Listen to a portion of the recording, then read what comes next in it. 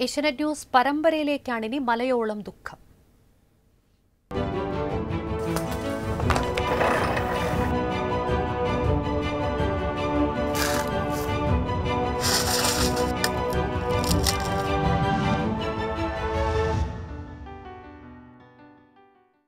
കാർഷിക വിലത്തകർച്ചയിൽ നട്ടം തിരിയുന്നതിനൊപ്പം സ്വന്തം കൃഷിയിടം സംരക്ഷിക്കാൻ വനം വകുപ്പിനെതിരെ കേസ് നടത്തേണ്ട ഗതികേടിൽ കൂടിയാണ് മലയോര കർഷകൻ.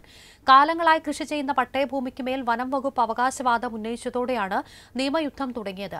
സർക്കാരിനെതിരെ പ്രതിഷേധത്തിനൊരുങ്ങുകയാണ് കർഷക സംഘടനകൾ.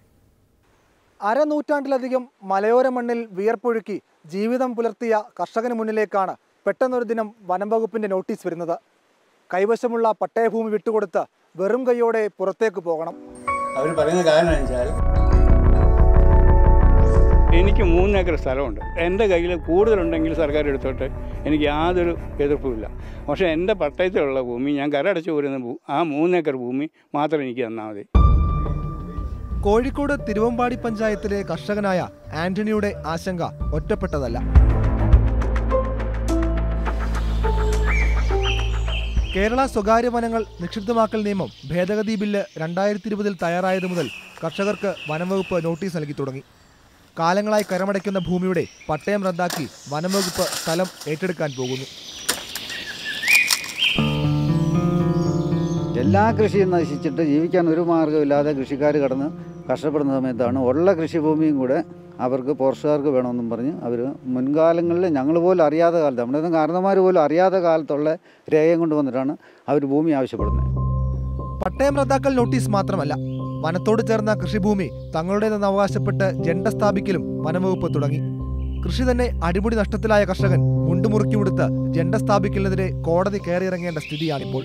കർഷകനും അവിടെയുള്ള ജനപ്രതിനിധികളും റവന്യൂ ഡിപ്പാർട്ട്മെന്റിലെ റെപ്പും എല്ലാവരെയും ഉൾക്കൊള്ളിച്ചുകൊണ്ട് ഒരു സർവേ നടത്തിയാൽ മാത്രമേ അത് ഫോറസ്റ്റായിട്ട് അല്ലെ റിസർവ് വനമായിട്ട് വരികയുള്ളൂ. സർക്കാർ തന്നെ പട്ടയം നൽകിയതും കാലങ്ങളോളം കർഷകർ കൈവശം വെച്ചതുമായ ഭൂമിക്ക് മേൽ വനംവകുപ്പിന് അവകാശവാദം ഉന്നയിക്കാനാകില്ലെന്ന് രണ്ടായിരത്തി പത്തൊമ്പതിൽ സുപ്രീം കോടതി ഉത്തരവിട്ടിരുന്നു.